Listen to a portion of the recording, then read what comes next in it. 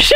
How's it going, folks? Welcome back to another episode. Lucy, Millie, what are you guys doing? Yeah, good job, Lucy. You go get them. You go get them. How's Stan doing? Oh, wait. Rip. How's all the fish doing? It's, uh, it actually cleared up. You guys can't see. Oh my God, big bass. It actually cleared up. That's crazy. It's, but the sun isn't quite, it ain't quite hitting the dangle right here, but it's actually cleared up. That is crazy. It's been like on and off, just being looking like milk toast and not milk toast. If honestly, if the sun's out later today, it'll probably look pretty decent, but they still have some goldfish in there. I still see some tadpoles. I'm not sure if they've eaten all the crawfish or not, but there's lots of tadpoles right there. And like I said, there's still some, still some old goldie fish. Oh, and some minnows in there, but they're hanging out. All the fish, they're doing, they're doing all right. Let's go check on the pigs. See what these guys are doing with their life. What up, little anchors? How you guys? How you guys doing? Oh, chill. Hey, let me turn this off. Oh, it was off.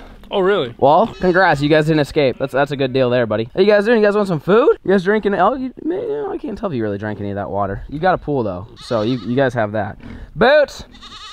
How's it going, Boots? Rick, you see Rick? What are you doing over there, Rick? All the animals are on this side now. We opened the gate up yesterday. Well, actually, Rick broke the gate, um, so we let them just kind of have at it, and uh, just so they could eat that fresh grass over there. We might actually move them back today to get them off the fresh grass, because you don't want them to go like full fresh grass for a long time, because they can bloat, especially old Carol. Carol will bloat. That ain't good for nobody. Oh, llama sniffing Steve's butt. This is good. This is a good deal. Anyways, you guys hungry or what? You guys want a little bit of food? Don't even have to eat some. Oh, chill. You guys want some food? What up, cheese? What up, rice? You guys hungry or what? Oh, you big boy. Oh, big boy's hungry. Hey, get out. Get out the pool, Rick. Hey, hey. Oh, this is your new feeding dish. Congrats. There's no food yet. This is why we can't have nice things. There you go. There you go. Right in the face. There you got it. That's old big boy there. They're hungry. You might be wondering what happened to the old automatic feeder. Oh, they broke it. Just like, you know, they treat it about the way they treat their pool. They just pretty much just break it. We're still repairing the feeder. We can fix it. We just need to do a little maintenance on it. But uh, for now, we're having to kind of feed them every day. I'm giving them like two and a half, three scoops. These guys get a couple scoops. They're chilling. They're hanging out. It's gonna be hot today though. Their mud's looking good. And they got a nice little swimming pool. So the pigs are good to go. What are you doing, Rick? How you doing, big boy? What you doing, big boy? What up, Dale? How's it going, Boots? I can hear you. You don't need to scream, all right? Hey, Rick. Hey, Dale. How's it going? What are you guys doing? Llama Rhodes. Rick? Rick? Why? He just wants a friend. He needs Bonzo to play with right now. Look at all the an- we haven't seen the animals over here in a while. Dude, they mowed this grass down. That is unbelievable. We should, yeah, let's move them back. I think what we're doing, because we're still waiting for that fence to get built up top. Um, so what we did is we let them, well, actually, again, Rick, you broke the fence, Rick, but you were kind of the, hey, you be nice to Lucy, Rick. I'll throw you on the old catch and coat table. You keep that up. We put them over here. We let them mow this grass down. It's honest, they cut it down pretty good. Oh, they haven't even been out here 24 hours, but we can move them back. Hey, big boy. You gotta be nice, Rick. You gotta be nice, Rick. Bo- Boots. Rick, Rick, No. Rick, Rick, quit, Rick, Rick, stop it, Rick, you're gonna break this fence, Rick. Hey, Rick. All right, well, let's move them. Let's move them back, um, and then we'll let this grass grow back up, and then because that side's pretty much that, that that side's pretty much out of commission. There's really no going back on that side. This side, the grass is still decent. Um, so we let them kind of munch. They munched all these low hanging trees. We're gonna put them back here, then let this grow for another week, and then bring them back. We're trying to rotate them a little bit, and then once our fence is built up there, then obviously they'll have all the fresh grass that they could possibly ever want. So let's give these guys some grain. Rick, look at all these animals. Look at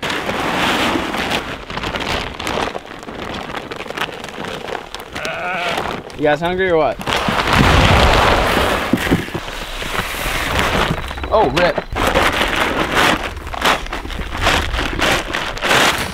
We're good. Llama Rose, look at her. Llama, you want some grain, buddy? There you go, Llama, just for you, buddy. We wouldn't do this for anybody else. But since you're Llama Rhodes, you get what you want, buddy. Steve! Steve, come join your girlfriend, Steve. Steve! Hey, Steve! Steve! He's an idiot. Such a good llama. Hey, Karen, how's it going? You want some Karen? Karen, this is for Llama Rhodes, Karen. Oh, she's chewing. Look at that. Look at her chewing. Why you look like that, llama? that mouth do, Llama Rhodes. You. Yeah, no, uh, let swallow. Easy. Chew with your mouth closed. You, you ever hear that? It's that's rude. You're not supposed to do it. I don't like being that close. You got it. You're spilling half of it, llama. Is this good? Is this delicious? Yeah, you're a good llama. All right, let's throw. We'll throw you guys a couple more scoops. Now I'm gonna go shut that gate so they don't get back over. Steve. Dude. llama, spit on him. Spit on Rick, llama. Llama, spit on him. She's scared of Rick. All right, let's just throw him a couple more scoops. Hey, Boots, how's it going? Llama, you want some more, buddy? You you realize I can't just hand feed you all the time, right? Like, you're the biggest beefcake here on the farm. You got to be able to hold your ground. You know what I mean? When Rick when Rick tries to fight you for some grain, you got to just spit on Rick or something. Show him who Llama Rhodes really is. You know what I mean? All right, there you go. Everything's fed. Let's go shut the gate.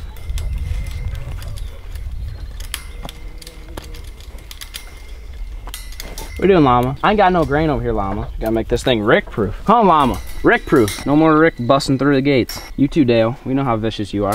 Yeah, that, that, way they got a they got one day worth of fresh grass. That way you can kind of ease them into it. Cause I know like, especially with cattle, you gotta give them like magnesium and stuff, otherwise they'll bloat. And it's just not good to go from hay and grain to fresh, luscious green grass. Cause they just, they don't know when to stop eating. They just eat until they're sick. So putting them on for a day, taking them off, kind of let them acclimate to the idea of it. Eventually they'll be on full pasture all the time, at least through the warmer months, but I'd say that's probably Rick proof. I'm sure he'll figure out how to get through it. But everything's fed. Llama, come here, llama. Come here, llama. I'm your friend, llama. Give me a hug, llama Rhodes. Rip. Anyways, everything else is fed. Chickens are good. Quail are good. They all have been laying eggs, been doing farm things. But today's adventure is not gonna even be here. We're gonna be going down to the farm. We're gonna attempt to do something I've never done before, ever. And that is trot line fish. It's a whole new concept. As you guys have seen, I'm starting to get more into catfishing. Um, I actually really enjoy it. I like the taste of them. Uh, it's a new challenge. It's kind of like relearning how to fish because like I've always bass fished. Bluegill fishing's you know, not that complicated, obviously, but catfishing, there's a little bit of an art to it, just a little bit, not not crazy. But to me, I like because it's almost like relearning how to fish again. Because bass fishing, I feel like I I know fairly well. I've done it my entire life, so it's not like anything new to me. If I want to go catch a bass, I kind of know what the steps to take. Catfish, I'm still trying to figure out. And another method to catching catfish besides jug lines and just throwing a rod and reel is a trot line. So we're gonna go down to the farm and, uh, see what happens. Bring some old sauce down there. Like I've never rigged up a trot line before. So if I'm doing anything wrong in this video, you guys let me know. But before this video gets started, I want to say huge thanks to Karls for sponsoring today's video. You guys can go to shopkarls.com, link down below and get up to 30% off all fishing gear. As you can see, they've got tons of stuff on their website, up to 30% off if you guys are a Karls member. So click the link down below and go sign up to be a Karls member. Huge shout out to those guys for sponsoring today's video. If you guys are in need of any fishing gear at all, rods, reels, lines, lure, any species, no matter what it is, Karls has it for you guys. Link down below, shopkarls.com. Go check it out and uh, see you guys at the farm. Shoo! All right, folks. Well, we made it down to the farm. It is time to rig up the old trot line, which I have never done before. Um, I researched a little bit, um, and we ended up buying this kit right here. Boom. This is a Walmart Magic Bait Catches Fish trot line. Big catch with stainless steel trot line clips. Eliminates tying leader to main line. See back panel. That thing. So, we're going to get this thing unboxed here and see if we can make it work. I'm not sure. It holds 25 hooks, which is a lot. I feel like that should be enough. We can't catch fish on 25 hooks. Well, we're just milk toast at that point. So we'll see if this, we, see if we can figure this thing out. All right, so this thing, okay, it looks like it's wrapped around some styrofoam. That's neat. Okay, oh, that this side, so don't lose it. We've got clips. We've got, this is probably the, the drop. And then we've got a bunch of hooks, which I'm not sure. We could probably use some circle hooks too, because these hooks are probably not that good. I think you're supposed to use circle hooks because they kind of hook themselves, but we can maybe do like half and half. That way we can kind of see, do these actually work or is it the circle hooks that we need to use? So it, it's kind of nice. This thing comes, I don't remember this thing even being that expensive. It comes with a lot. I mean, like I said, 25 hooks. See how sharp these guys are. Oh, I've had sharper dinner forks. No, it's actually not that bad. It's just not the circle hook. So, I said, I think if we do half, they do have the big eyelet though, which I think is gonna be key for running this. So this is your drop line. And again, I know nothing about this. So if I'm if I'm messing it up, you guys just let me know. You guys know the drill. I'm, I never know what I'm doing here. So I'm always looking for your guys' advice. Go ahead and just cut this little thing open here. So I think we're gonna have to like tie our own because I'm guessing this is just one continuous rope. Oh, it is. This is the way to go, folks. All right, this is the deal. I cannot believe that. Okay, so then you've got this doohickey. Why is this? This thing's soaking wet. That is so weird. I don't know why I smelled it either, but okay, so then you've got your clips, all right? Wow, I cannot believe they gave you pre-cut string like that. Walmart's got it figured out. So here's your clip. So your clip goes onto this thing. So that's your that's gonna be the bottom. So you're gonna look for these two little blue things. Okay, so there it is. I'm just gonna show you guys. We, I'm not gonna unravel the whole thing because you're supposed to do it kind of like as you go. So what you're gonna do though is you've gotta do it like that. Okay, like that. So you clip that on like this. But what you're gonna do is you're gonna wanna tie this to this little swivel here. So this could probably be whatever knot you're feeling. Might try the old Palomar knot here. Try the old Palomar knot. We'll see if that comes, if that works out or not. I'm not really sure. It might be the easiest way. Because I know Palomar knot's pretty strong. So then this is gonna be, that's your tag end, so you can probably cut this off. I'd leave a little bit just in case if it slips at all. But then you got this doohickey here. So make sure that doesn't come unraveled, which it looks like it's actually about to, so that's neat. But what you'll do is then you're gonna tie a loop knot. So you're gonna take it like this, just an overhand loop knot. That's a pretty bad tutorial because you can't even tell what's going on here, but like that little loop. Then you're gonna take your hook and you double it through there like that. Then you just go around your hook like that.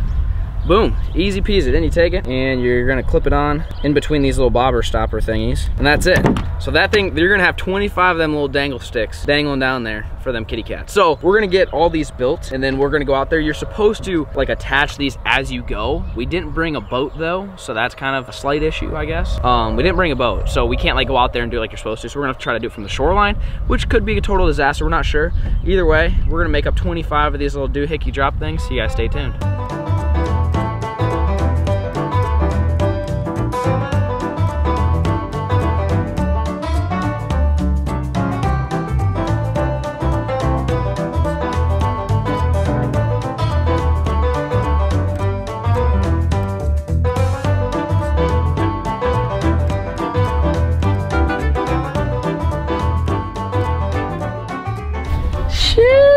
That bucket there, folks. We got it done did. So now comes, oh, we, we got. We get the weight, that big freaking weight. Yeah, we should probably get that. We got everything loaded up in the bucket. We, we figured this might be the best system to keep at least most of it from untangling or not getting tangled. But we've got weenies, we got worms, we've got Pabst juice, a huge weight. So we've got everything loaded up here. This is basically what it looks like. We've got all the hooks lined up. We've got Pabst stuff. We've got wieners. We've got all the worms. We've got a weight. Like I said, this is gonna be interesting without a boat. We do have the old tank though the old tank's ready to rock and roll. I've, I've been debating though, folks. I'm, I'm, thinking about giving this thing away. Um, I've used it for about a year now. Um, it's really not that bad. It's got like 50 hours on it. thing's an absolute freaking unit though. Like it's it's a beast. It floats. It does. We could even take it in the water today. We'll see. I'm thinking about giving it away. I'm not sure how I want to do it, but comment down below. Do you guys?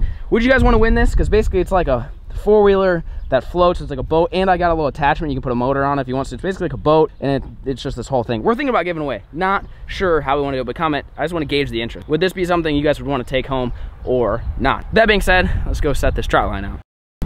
All right, folks. Well, we made it out to the spot. So this is where we've done some trapping over here. We've done some fishing over here. We've done all sorts of good stuff. The water's so high right now. Also, once we get these set out, I'm gonna show you guys the update over there on the old duck pond. It's it's a pond now, folks. It's completely full of water with all this rain. So I don't know if that's a good thing or a bad thing, but Oh God, look at all these cats. Meow. So we're thinking, I mean, you could tie it up to, how deep do you think this is right away? Because we could tie, I, the problem is there's all these T-posts, so I don't want them to get tangled in that. Ideally, if you tied it to like that and then just stretched it to there, you would get the I mean, the water's flowing through that tunnel like crazy though. So I don't know if the, the catfish might might be blown out. Like it might be too much current for them. So this could be a total botch. Um, we could run it from there to here. We just got to figure out how to get, we just carry one end around. problem is then hooking all the hooks on there without them getting tangled up. This is why you need a boat. You definitely need a boat in this situation. I think the easy, easiest would be this. Let me jump in this water and see what it's like. It might be a sheer, oh God. I mean, I could tie to this. I wouldn't go much further. I mean, I could reach, I can probably reach to here. And then, I mean, if we just, if we just have a weight, we could always throw it out a little bit and then if we have something to bring it. I mean, if I can reach here and bring them in this way, yeah. right? a little deep. Most people lay the line out and then pick them up and then hook. That or we just send the old Argo out there. I mean, it floats. I mean, it would work. If I'm by myself, I, it's not bad because I can kind of mess with the weight a little bit. I mean, I could send it out there. What do you think? Get the old tank out there? All right, so why don't we try it without the tank? If it doesn't work, we get the tank. Let's do that. Oh, oh just went over. Rip.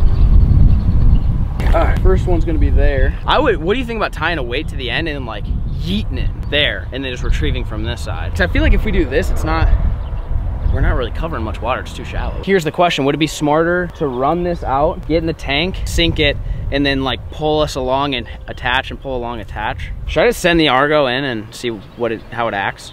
Sure. All right, let's do that.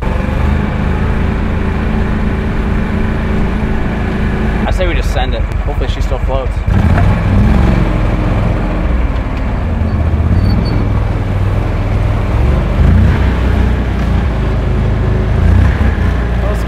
we're floating so far. Oh yeah, we're killing it. Oh yeah. Oh, okay. Oh. we just got soaked. We literally just got soaked. Yeah, there's the wind for you there, buddy. Oh God. Oh God. Oh yeah. Oh yeah. Oh yeah. You got it. Well, we made a terrible decision to leave all of our stuff on the shore and then launch somewhere else. So we gotta get back up on the shore and grab our stuff. I don't know if this is gonna go very well. The old tank doesn't do, it does great in the water. It's just, you know, you're not, it's not like a boat. You're not maneuverable or nothing like that. So it's uh, setting out these lines and baiting and stuff. And it's gonna be a lot of multitasking. Plus the wind's just absolutely freaking ripping down the old pipe here. So Yep, and you guys just sit back, relax, and enjoy. Oh, you got it. Ooh, that's slippery. Oh, you got it. We made it. All right, so now, how do you, how should we do this? Why don't we take a boat? Just That would be just good. about the old boat. So I'll turn it around and send us out this way, and we'll just let this rip until we get to the end, drop the weight, and then start hooking and work our way back. All right, well, I mean, it actually worked better than I thought. We're gonna go ahead and tie this weight up to this. So we've got a weight, and then our trot line, you can see, I'll pull it up. You can see it runs all the way down to there, so you can see it. So I'm gonna turn this back out. Oh, I got hooks in the back. Rip. We'll go stretch this back out. We'll set this weight out and start getting baited up.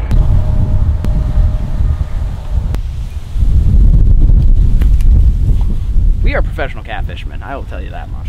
So now this is our opportunity to rig up as many of these as we can to where we can just efficiently that type of deal. So so this is old pap sauce here. This stuff's this is the good stuff. It it smells really bad. Oh god, I'm gonna throw up. Get a little bit of that action in there.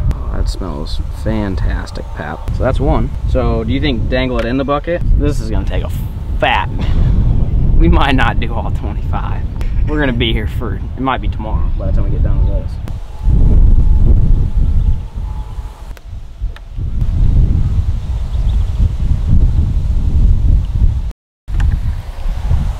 Yeah, you got it done, folks. Took like 10 minutes. We're good. We got the a freaking bucket full of sauce here. We're gonna attempt to just start here and kind of just pull our way down. The biggest thing is this has eight wheels that could get tangled up in this, and that could just that could be treacherous for everybody involved. So the goal is uh, not to get tangled up, we're gonna let this sit out there for a little bit, and hopefully catch a fish. So wish us luck. All right, so clip number one. It's really not gonna. Well, we probably shouldn't clip on that one because it's on the that's on the bed. So throw this clip like this.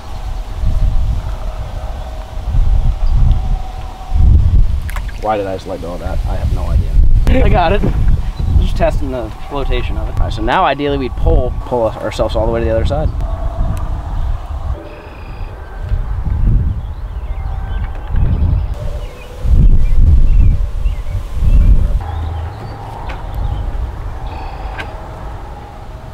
Wow, we got them all. Look at that. Boom. All right, so now, I don't know if we can climb that or not. Woo! Oh, I just sat right in Pap's juice. Got her out, folks. Time to head back to shore.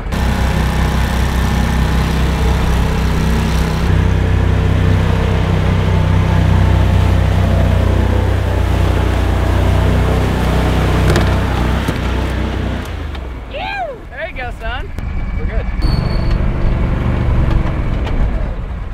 Shoo! Look at the old pond, folks. This is well, this is actually a really bad thing because uh, we hadn't planted crops yet. We planted corn. Well, now that corn is doing that. So, uh, I mean, on a good note, I actually I think the dam held. It doesn't look like it, it's just water's up to it, but there's no flow between this side and this side. So the dam that I built, if you guys missed this video, uh, we built this whole thing around here because we're gonna turn this into a duck hunting pond marsh area. But it wasn't supposed to be a pond yet. We still had to plant crops and then we were gonna flood it. But uh, it looks like it, uh, well, it rained quite a bit. And so there's literally a pond now. Like there's a foot of water in here. Uh, this dam, obviously we'll have to build up more. I packed this all in. Um, so we'll have to add more. I mean, I hope this dries out quick. I don't know how long it, I mean, how long do you think it's gonna take for water to, I think it's gonna take a long time. This could potentially have botched our operation. We might have to try to either pump it out or maybe cut wherever the lowest point is, cut a, a gash in it to let it flow back into the old riverbed here. Cause I don't know, the water doesn't go away because the water table's so low. So honestly, water's probably gonna be in here for for quite some time. The good news is that corn that we that planted over there, it, it actually looks fine. It's dry. But then the downside is right here, uh, filled with water because our levee is holding it. So now that's gonna back flood that way. So we actually flooded a bunch of good corn that way. So uh,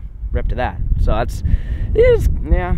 It's not good. This is it's not a it's not a good deal out here. Uh, it's it's good to know that hey, this thing will hold water because honestly, this is about deepest we would need it to be. You know, maybe like maybe knee deep. Yeah, just a little little early. We we uh, honestly, it's probably good that it happened now though instead of like July because if we did in July, then we would be really screwed. At least now we know hey, it'll hold water. Maybe we need to put a tube in here to pump the water out, and then we can dry it up to plant. We're not really sure. We're not sure what we're doing, but I want to give you guys a quick update on the duck pond. It is now an official pond when I don't want it to be, and dam held somewhat. It just looks like the water's sitting on top of it. We just need to build it up more, but the rest of it's good. I think I'm confident now that I mean you can see where the water was. I think it was up where it's all wet right there because that's where all the water. I think it was up higher and then it's obviously drained since it hasn't really rained in like four or five days. But anyways, there's your little update. We're gonna go run in town. We're gonna grab some lunch, kind of hang out, relax, and let our trot line do trot line things. I'm not sure how confident I am, to be honest. I think this rain might have messed up a lot of the fishing.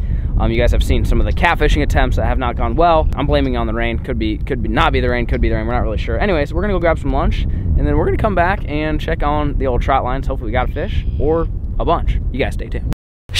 All right, folks. Well, we got back from lunch, and it's time to check the old trot lines. I don't know if this is gonna work because I think there's been a lot that's changed with with the the rain, the rivers, the water. I'm making excuses in case we don't catch anything. I, am sure we got a couple bullheads. I mean, there was like a billion of them in here two weeks ago. I feel like we got some, but what we're gonna do instead of launching this guy, all this thing's a beast. It was just kind of it was a little bit difficult to navigate. We're gonna walk around and untie that end, come back, and then reel it in from here, and hopefully we got some fish. So you guys stay tuned. All right, we got the other side tied off. This is a moment of truth, folks. I don't think I need to jerk hard. I'm just gonna, no, I don't feel anything yet. Feels kind of tight. Nothing on one. Oh. It feels like there's something. Maybe not. Maybe just, you think they're just dragging on the bottom? Uh, I think they're dragging on the bottom. Rip! I thought we had one. No, it was dragging on the bottom. You're kidding me. 24. We freaking suck. How do you not catch a catfish with 24 hooks? That's my question. How do you, how do, you do that? How is that physically possible? When you know there's like millions of bullheads down here. Not one. We freaking suck. Shoo! Well, folks, you probably guessed it.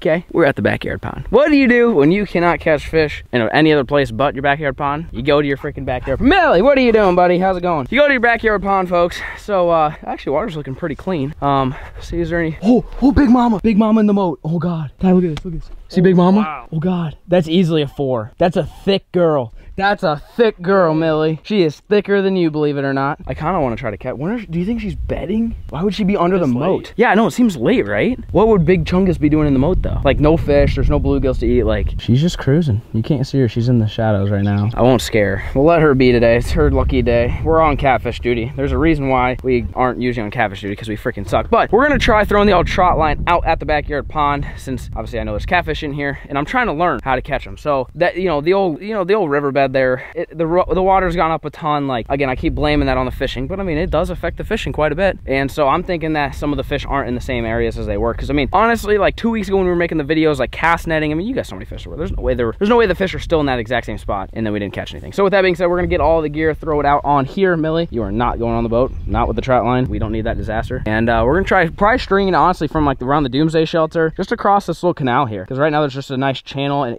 he goes up to the dam. The catfish might go up to the dam and feed and stuff like that. So I don't really know. We're gonna get out there and set it out and we're gonna let it sit overnight and come back tomorrow morning check on it. You guys stay tuned. Well, folks, we're starting off. We're gonna, hey, you stay. No, no, no. You can't we're gonna be back in two seconds. So we tied this thing off to this stick here and then we're gonna run it and aim for about that stick here. This is gonna cross the channel. We've caught some catfish here. We've caught some catfish over there. We're gonna run it straight across the channel and, uh, and hope for the best. So wish us luck.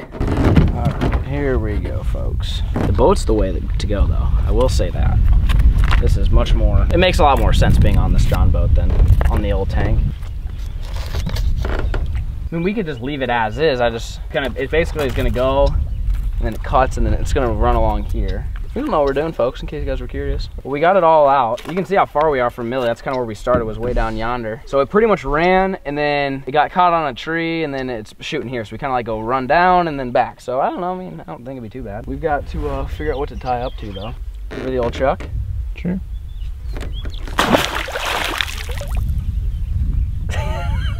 Why do I have no faith? I have none. I have zero faith right now. I don't know if that's gonna work because they're all uh, they're all gonna be laying on the bottom. I feel like aren't they supposed to be suspended? Either way, I'll see you guys tomorrow. Well, folks, it's the next day. We got Bonzo's here. Bonzo, you know, you missed a sick day yesterday. That was a neat day because we took the old tank out and caught zero fish. And, well, the old trot line we stuck out here, it got stuck on a tree. And so we ended up just kind of leaving it. So that could completely botch today's operation. But, Bonzo, you're going to be on dog duty. Oh, hey, Lucy. How you doing? Bonzo's going to babysit you. Does that sound good? You excited for Bonzo to babysit you? Look at Millie. She can't even contain her excitement. All right, don't do anything I wouldn't do. Go check this old trot line. Millie, you think we got anything, buddy? Oh, it's starting to rain. That's neat. I enjoy that. There's no chance we have anything. I got it. We're good. Oh, there's a lot tugging right now. Might rip, they might rip it out of my hands. How do you not catch something with 25 hooks? That's my question. All right, you ready? Don't Feel anything? No bait, no bait. Oh, I think I got it off the tree. Oh, oh. I can't tell. It's tight. I think I got off the tree though. Oh no, it's the anchor. Why do you think it's tight? Nothing. Nothing. Nothing. Oh God, it's stuck again. Oh God, it's stuck. Not in a good way either. Oh God. Oh gosh. Dude, it is not moving. What does one do when they can't break off the trot line? What if there's a kegger on the other side? We never know. What if this is a fish the whole time? What if you have Loch Ness? I think we just take the L. I mean, what do you do at this point? Because there could be a fish on there. You just don't know. Well, boys, go trot lining, they said. It'd be fun, they said. Well, folks, obviously trot lining is just not for me, but Bonzo just, he screamed and yelled at us uh, because there's a snapping turtle. Listen, Rick. Oh, he's not, no, Stan was bigger than him. Oh yeah, Stan was definitely bigger than him. Millie, that's bad. Bonzo found the old snapper and, uh, well, they're not really good because, um, well, they eat fish, for one. Two, they, they try to attack Millie. Well, actually, Millie was sniffing it and Lucy was sniffing it. And look, if Bonzo was on babysitting duty and you and I left, Oh, Ka-chow. We'd be in the ER right now because they sniff it and then obviously the snapping turtle does snapping things. So, hey puppies. Hey, thank Uncle Bonzo for saving your life, Millie. You too, Lucy. No, that's bad snapping turtle. You don't want to you don't want to mess with the little snapper. We're gonna go ahead and try to uh, take care of this guy. She's up here because uh, you think it's laying eggs right now. So this guy right here, as you guys know, they're laying eggs um, this time of year especially, but like being this far from water, they're up here laying eggs. So we don't, I mean, as much as I hate snapping turtles, they don't do any good. They eat fish. They potentially would have killed the puppies. I mean, that would have been an absolute blast. Since she's laying eggs, I don't really want to kill her. Um, so we're gonna attempt to relocate her um, at a spot further away to where, because we're always down here at the pond and we're always down by the animals. But honestly, I think a probably a decent spot would probably be like further back. If we can get them to stay back there, I don't know. Do you, th do you think it would come back to the pond though? Or uh, if it's near water, then no. So if we put it by the other water, you think it'd be fine? Because there's really not, what? There's a pond over there too. So it could find that, but we, we could just go put them down by the creek. We're gonna try to relocate this guy just because obviously being right here, it's gonna be protecting its, its eggs and it just, it's not gonna be good. These guys, I don't know if you guys have seen snapping turtles bite. It's not good. Like if Millie got bit in the face, it doesn't let go. She'd be freaking out. Like I said, we'd be in the hospital. So try to relocate this guy.